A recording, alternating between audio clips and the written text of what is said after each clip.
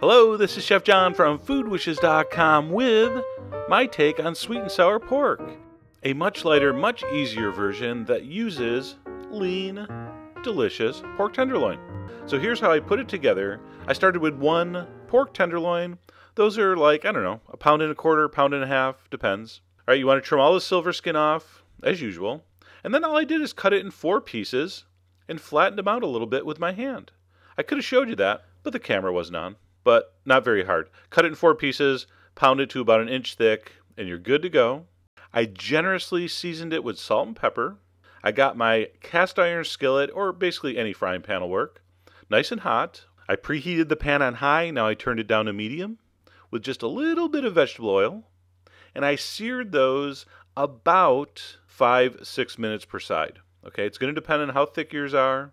But what we want to do is we want to cook these almost all the way. We will finish warming them up in the sauce.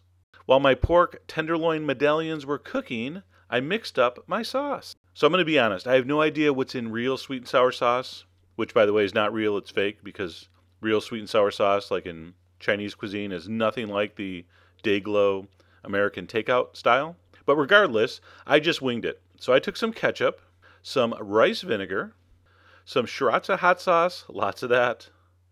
Any hot sauce will work. A nice dash of soy, and then a couple tablespoons of brown sugar. All right, one thing you'll notice I'm not adding here is any kind of cornstarch mixture. I don't need it. I don't like it. I don't want it. Okay? I also had one 8 ounce can of pineapple chunks. I drained the juice into my sauce, gave that a stir, and I'm going to, of course, reserve the pineapple chunks for later.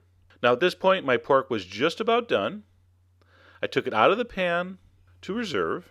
All right, just let it rest on a plate. I added a teaspoon of butter to the hot pan, still on medium heat. And you're thinking, why butter? That seems odd. Well, first of all, this whole dish is odd.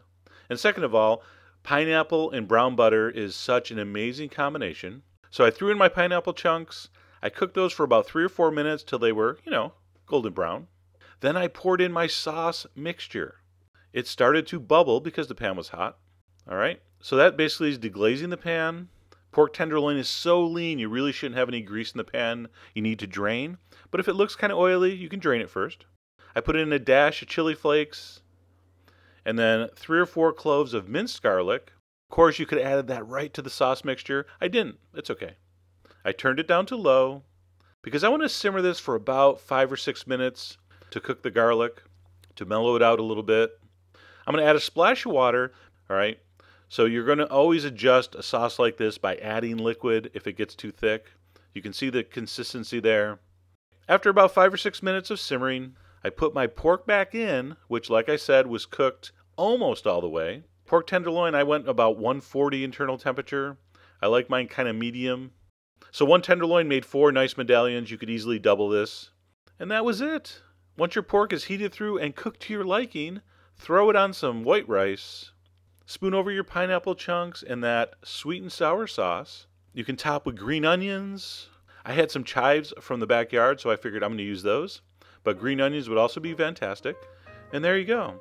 I'm going to cut into this, and it was super good. Okay, obviously much much lighter. Traditionally, sweet and sour pork cut in cubes, deep fried in a batter then tossed with that thick, thick cornstarchy sauce. It's just so much thicker and heavier. So I really think this is a nice alternative. Pork tenderloin, about the easiest thing in the world to cook. All right, still a little bit pink. You want to cook it more, cook it more, but you don't have to. A lot of chefs even cook this much less, so really nothing to be scared of. It should be juicy, and it should have a tinge of pink to the meat, okay? You people in your got to cook the pork more just drive me crazy. You don't. Totally safe. And that's it. That was really, really delicious. I hope you give it a try. So easy. Anyway, check out the site for all the ingredient amounts. And as always, enjoy.